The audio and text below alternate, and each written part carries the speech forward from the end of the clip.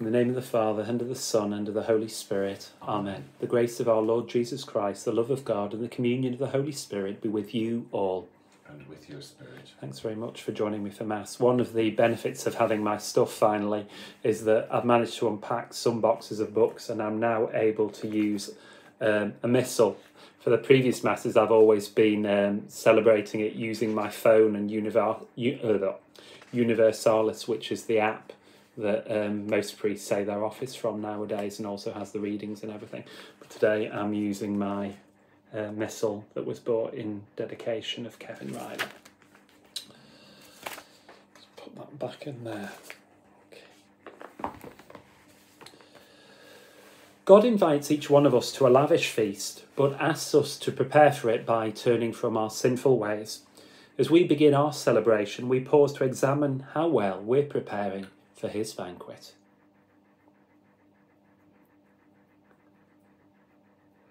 Lord Jesus, you invite all peoples to your lavish feast. Lord, have mercy. Lord have mercy. Christ Jesus, you destroyed death forever. Christ, have mercy. Christ have mercy. Lord Jesus, you invite many, but few are chosen. Lord, have mercy. Lord have mercy. And may Almighty God have mercy on us, forgive us our sins, and bring us to everlasting life. Amen.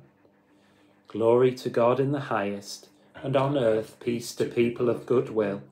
We praise you, we bless you, we adore you, we glorify you. We give you thanks for your great glory. Lord God, Heavenly King, O God, Almighty Father, Lord Jesus Christ, only begotten Son, Lord God, Lamb of God, Son of the Father, you take away the sins of the world, have mercy on us. You take away the sins of the world, receive our prayer. You are seated at the right hand of the Father, have mercy on us. For you alone are the Holy One, you alone are the Lord, you alone are the Most High, Jesus Christ, with the Holy Spirit, in the glory of God the Father. Amen. Let us pray. May your grace, O Lord, we pray, at all times go before us and follow after, and make us always determined to carry out good works. Through our Lord Jesus Christ, your Son, who lives and reigns with you in the unity of the Holy Spirit, God for ever and ever. Amen. Today's first reading graphically illustrates God's love and mercy towards Israel. It depicts, depicts a great feast on Mount Zion, the mountain of King David's holy city, Jerusalem. Last week, the metaphor of sour grapes was used as a daunting illustration of Israel's state of sin. Today, the talk is of fine wines and food rich and juicy, and a promise of victory over Israel's neighbours who've oppressed them and devastated Mount Zion. Today's reading is often used at funerals to depict the joyful vision of heaven. St. Paul has often written of the trials and tortures he suffered for the kingdom of God. Today, in the second reading, he makes clear he has nothing further to be afraid of, nothing he can't help with the help of the one who gives him strength. He's taught the Philippians the need to be prepared for the same hardships as he himself has suffered, and he thanks them for their generosity towards his mission. A reading from the prophet Isaiah. On this mountain, the Lord of hosts will prepare for all peoples a banquet of rich food, a banquet of fine wines, of food rich and juicy, of fine strained wines. On this mountain, he will remove the mourning veil covering all peoples, and the shroud enwrapping all nations. He will destroy death forever. The Lord will wipe away the tears from every cheek. He will take away his people's shame everywhere on earth, for the Lord has said so. That day it will be said, See, this is our God in whom we hope for salvation. The Lord is the one in whom we hoped. We exult and we rejoice that he has saved us. For the hand of the Lord rests on this mountain. The word of the Lord. Thanks be to God. Response In the Lord's own house shall I dwell for ever and ever. In the Lord's own house shall I dwell for ever and ever. The Lord is my shepherd, there is nothing I shall want. Fresh and green are the pastures where he gives me repose.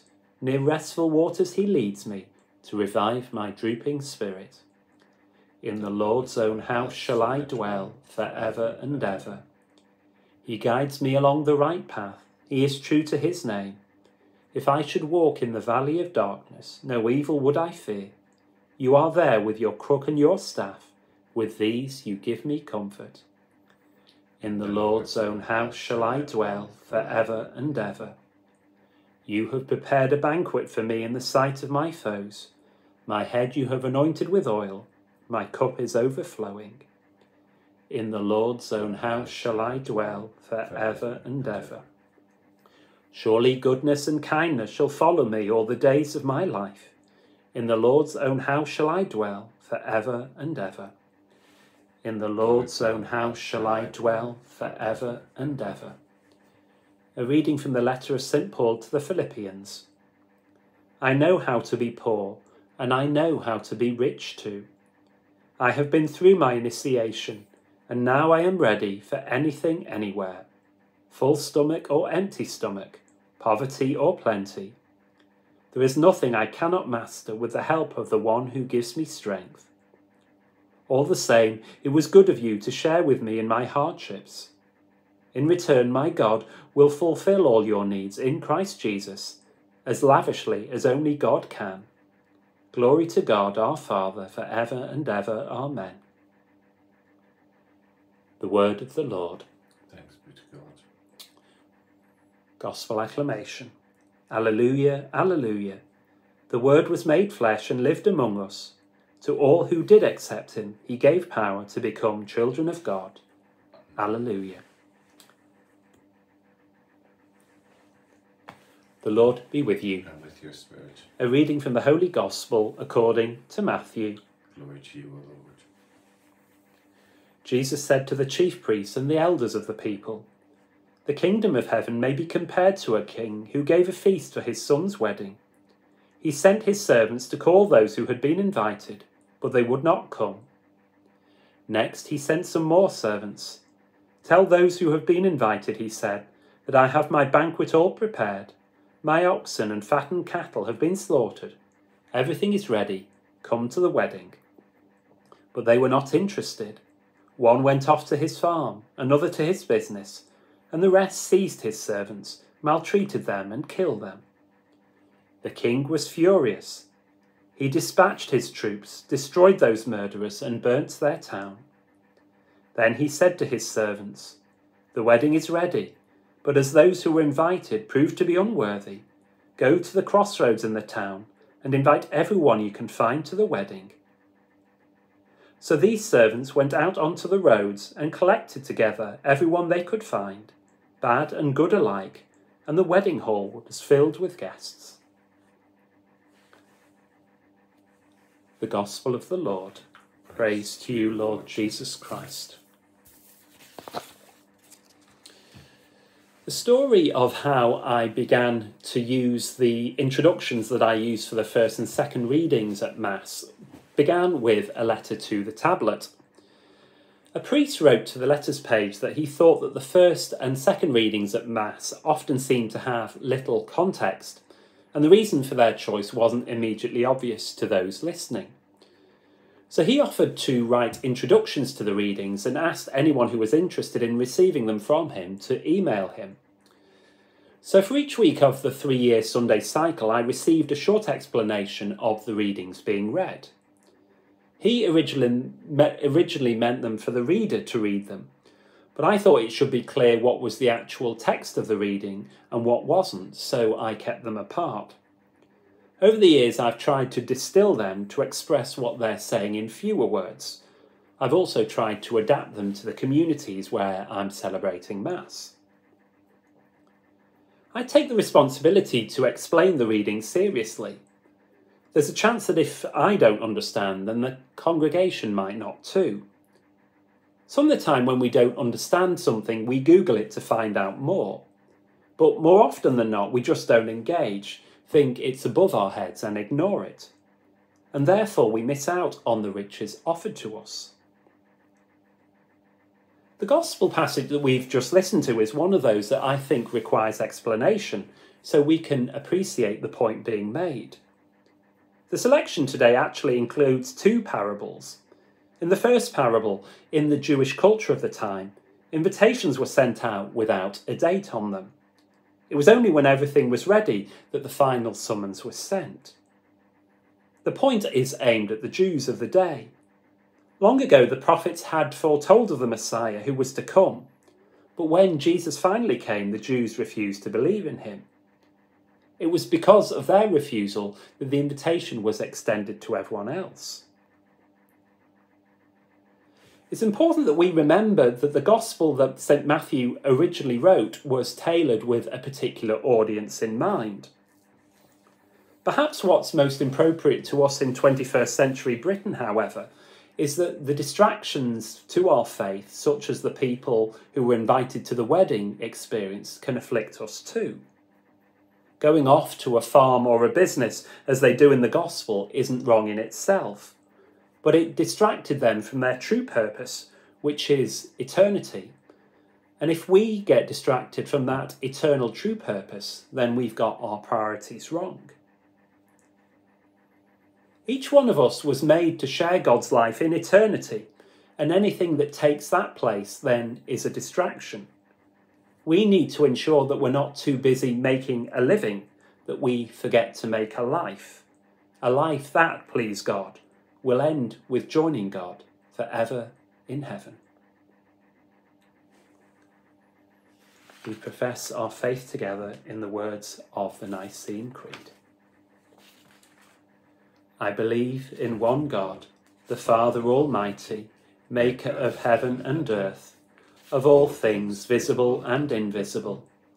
I believe in one Lord and Jesus Christ, the only begotten Son of God, born of the Father before all ages, God from God, light from light, true God from true God, begotten, not made, consubstantial with the Father through him all things were made. For us men and for our salvation he came down from heaven, and by the Holy Spirit was incarnate of the Virgin Mary and became man. For our sake he was crucified under Pontius Pilate. He suffered death and was buried, and rose again on the third day in accordance with the Scriptures. He ascended into heaven and is seated at the right hand of the Father. He will come again in glory to judge the living and the dead, and his kingdom will have no end. I believe in the Holy Spirit, the Lord, the giver of life, who proceeds from the Father and the Son, who with the Father and the Son is adored and glorified, who has spoken through the prophets. I believe in one holy, Catholic, and Apostolic Church. I confess one baptism for the forgiveness of sins and I look forward to the resurrection of the dead and the life of the world to come. Amen. Let us ask God for the grace of conversion of life, so that one day we might enjoy his banquet. That the Church may help all peoples prepare well for God's lavish feast by turning from sin and doing good. Lord, hear us. Lord, graciously hear us that peace may soon come to Israel, Gaza, and the West Bank. Lord, hear us. Lord, Lord graciously hear us. That all peoples may respond to God's invitation to come to his banquet.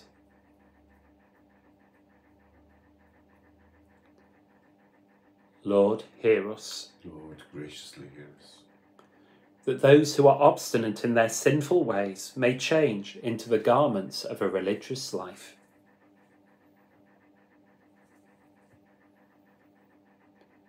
Lord, hear us. Lord, graciously hear us. That all of us who are among the chosen ones may, may show our gratitude by the goodness of our lives.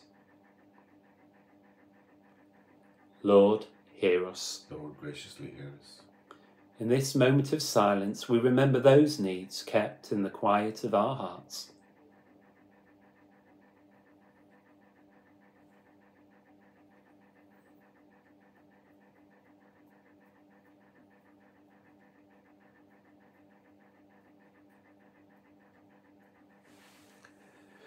Bountiful God, you prepare a banquet for us and invite us to come. Hear these our prayers that we might prepare by the goodness of our lives to live with you in eternity and share in your banquet. We ask this through Christ our Lord. Amen. Blessed are you, Lord God of all creation, for through your goodness we have received the bread we offer you. Fruit of the earth and work of human hands, it will become for us the bread of life. Blessed be God forever.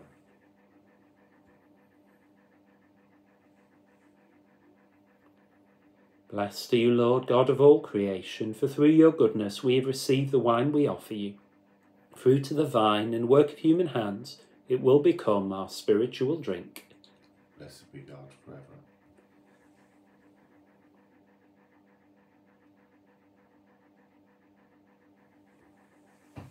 Wash away, O Lord, my iniquity. Cleanse me from my sins. Pray, brothers and sisters, that my sacrifice and yours may be acceptable to God the Almighty Father. May the Lord accept the sacrifice of my hands for the praise and glory of his name, for our good and the good of all his holy church. Accept, O Lord, the prayers of your faithful with the sacrificial offerings, that through these acts of devotedness we may pass over to the glory of heaven, through Christ our Lord. Amen. The Lord be with you. And with your spirit, Lift up your hearts. we lift them up to the Lord. Let us give thanks to the Lord our God. It is right and just. It is truly right and just, our duty and our salvation, always and everywhere, to give you thanks, Lord, Holy Father, Almighty and eternal God, through Christ our Lord. For out of compassion for the waywardness that is ours, he humbled himself and was born of the Virgin. By the passion of the cross, he freed us from unending death, and by rising from the dead, he gave us life eternal. And so, with angels and archangels, with thrones and dominions, and with all the hosts and powers of heaven, we sing the hymn of your glory, as without end we acclaim. Holy, holy, holy Lord, God of hosts, heaven and earth are full of your glory. Hosanna in the highest. Blessed is he who comes in the name of the Lord. Hosanna in the highest. You are indeed holy, O Lord, and all you have created rightly gives you praise. For through your Son, our Lord Jesus Christ, by the power and working of the Holy Spirit, you give life to all things and make them holy, and you never cease to gather a people to yourself, so that from the rising of the sun to its setting, a pure sacrifice may be offered to your name. Therefore, O Lord, we humbly implore you, by the same Spirit, graciously make holy these gifts we have brought to you for consecration that they may become the body and blood of your Son, our Lord Jesus Christ, at whose command we celebrate these mysteries. For on the night he was betrayed, he himself took bread, and giving you thanks, he said the blessing, broke the bread, and gave it to his disciples, saying, Take this, all of you, and eat of it, for this is my body, which will be given up for you.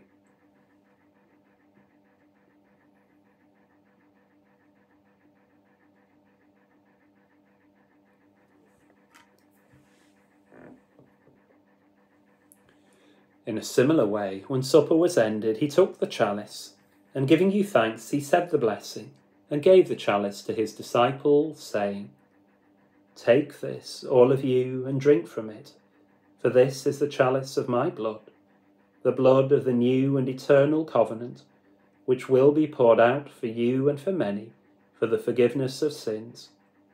Do this in memory of me.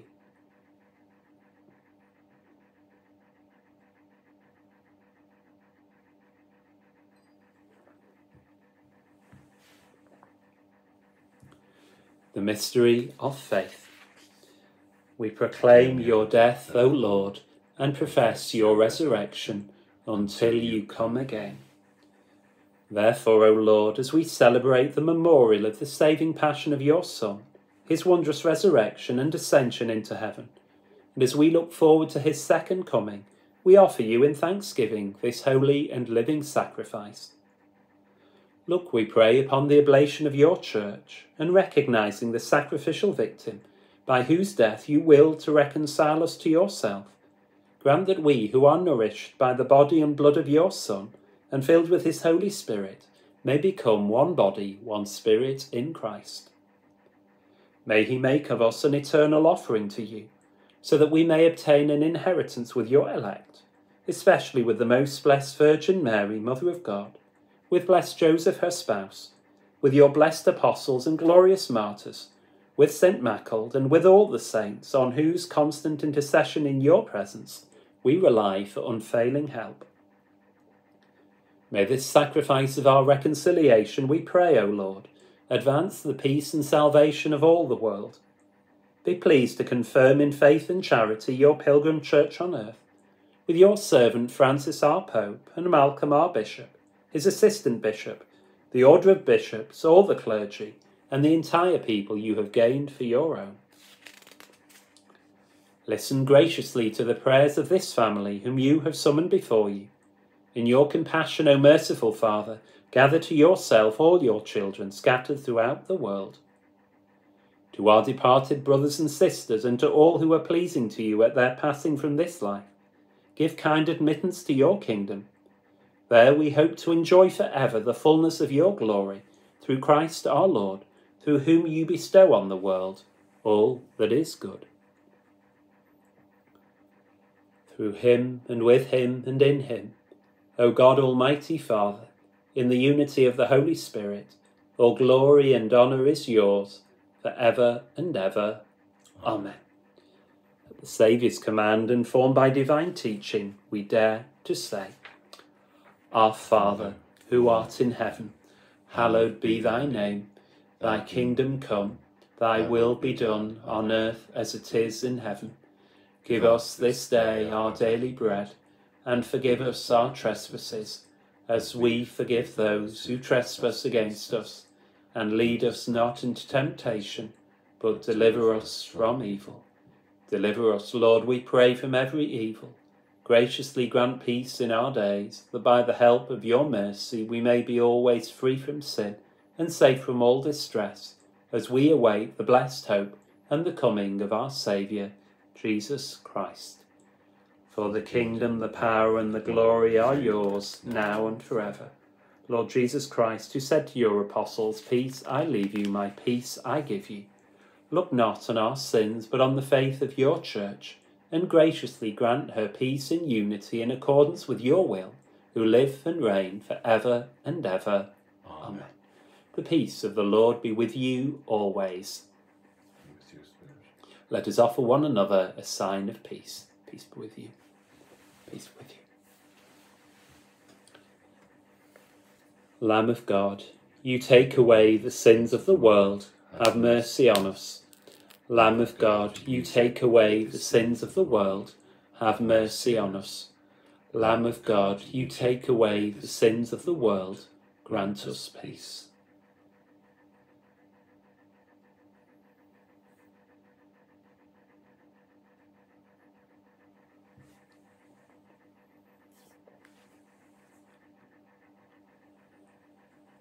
Behold the Lamb of God.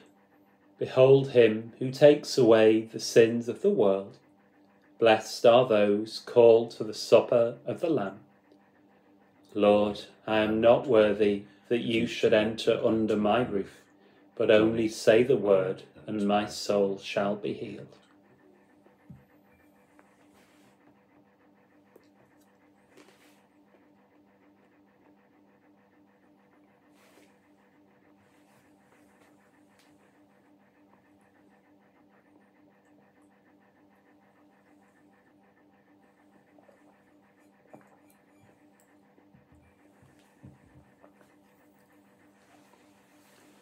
Christ. Amen.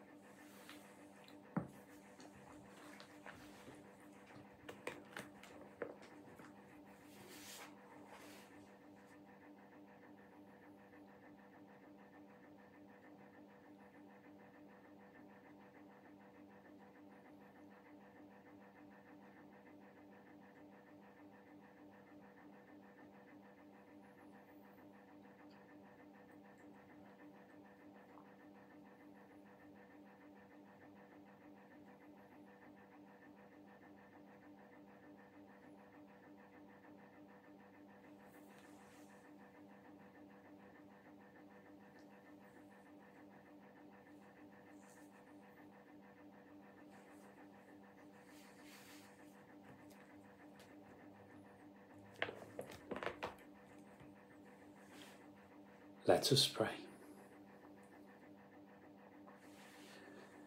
We entreat your majesty most humbly, O Lord, that as you feed us with the nourishment which comes from the most holy body and blood of your Son, so you may make us sharers of his divine nature, who lives and reigns for ever and ever. Amen. Just in case you're reading the longer version of the gospel, you'll know that in that story it says that the king dispatched his troops to destroy those murderers and their town. Again, I think that's part of what Matthew was doing because I remember, I think it's from the Daily Study Bible by William Barclay, I read a commentary that said that basically he thought that bit wasn't part of the original parable and was inserted by Matthew because when he was writing his gospel between AD 80 and 90, Rome had been destroyed in AD 70 by the Romans. Sorry, Jerusalem had been destroyed by the Romans in AD 70. Now you can see why I have a script for me for my homily. And so basically, Matthew was saying that was kind of a premonition of what was going to happen in Jesus' parable. So just to explain that bit of the gospel in the longer form. Anyway, thank you very much for joining me for Mass. The Lord be with you. And with your spirit. And may Almighty God bless you, the Father, and the Son, and the Holy Spirit. Amen. Amen. Go in peace, glorifying the Lord by your life. Thanks be to God. Take care. Bye. God bless. And see you soon.